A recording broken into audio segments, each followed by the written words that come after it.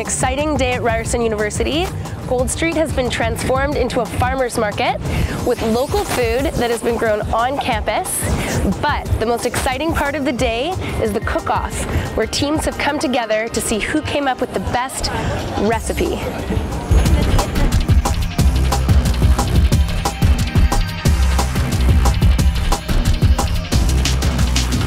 We are Team Greenbelt. We are from the Greenbelt Fund and we are the Galloping Greenbelt Gourmets. Here we are. We have made a beautiful roasted vegetable and Mediterranean barley salad. Why are we going to win? Well, not only does it taste amazing, but it's also using all the using all the local bounty that uh, has been grown right here at Ryerson. Uses some pantry staples, a quick little dressing. It can be warm, it can be cold, it can be anything you want, and it's delicious and wonderful. And we're gonna win! Woo! We're Team Blue at the Rye's HomeGrown Cook-Off. We've made vegetable ribbons with spicy tomato sauce, mint, and roasted beets. We also have a mixed green salad with a Dijon and um, poppy seed vinaigrette. We're gonna win today because we've used all the vegetables from Rye's HomeGrown Eight Beautiful Gardens, and we use the least of outside products. So we're really showcasing them today.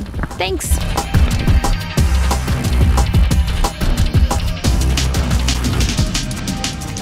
We're from First Lab here at Ryerson uh, in the nutrition department. Our menu today is a garden tomato soup with zucchini croutons. Uh, we also serving uh, uh, nectarine, beet, and chard salad with mint or with mint vinaigrette, pumpkin seeds, and um, lemon cucumber.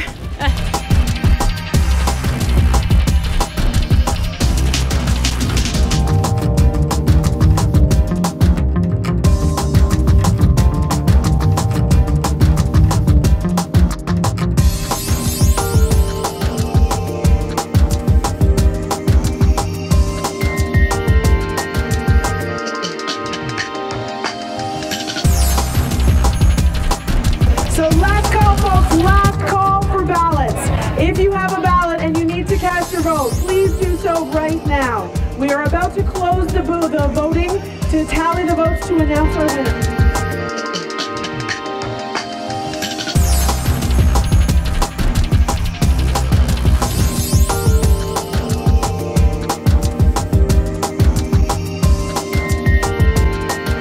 Okay, contestants, amazing cooks, please come on down. So, without further ado, so I'm going to tap the side of this thing. And we're gonna me a roll. The winners of Rye's HomeGrown's first annual community cook-off is Team Greenbelt. Congratulations!